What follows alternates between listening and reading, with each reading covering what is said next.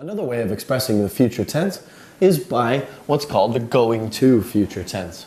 Here we have our examples of they are going to watch, they are not going to watch, and the question are they going to watch. Here the important words are the helping verb to be, conjugated appropriately based upon our subject. We've got the word going, the word to, and the base form of any verb that follows. To add the negative, we'll put not in between are and going. And again, to make the question, we'll invert the subject and the helping verb, resulting in are they going to watch.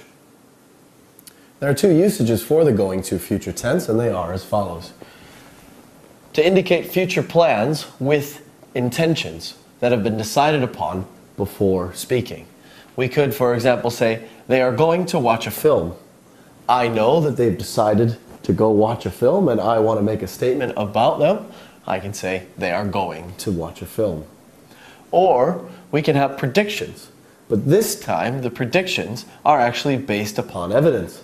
Here, I could see black clouds building in the sky coming towards me, and I might say something like, it's going to rain.